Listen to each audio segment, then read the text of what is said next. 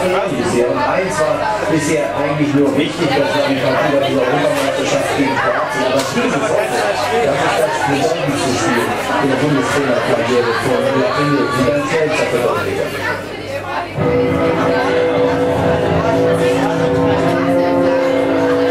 Heute steht er vor seiner schwersten Aufgabe.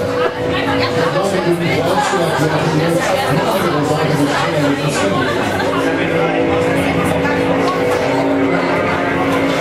Es ist die 25.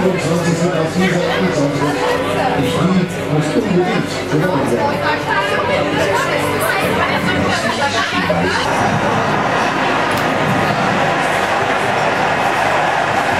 Eine echte Konterchance, weil nicht konsequent nachgerückt wird. Und die Fehler sind da bei den Österreichern ohnehin die Grundordnung wesentlich zurückgezogener als gegen die Polen. Da hatten sie nach einer Viertelstunde schon drei erstklassige Torchancen. Nicht so heute. Die deutsche Mannschaft wesentlich besser gestaffelt. Bessere Ordnung.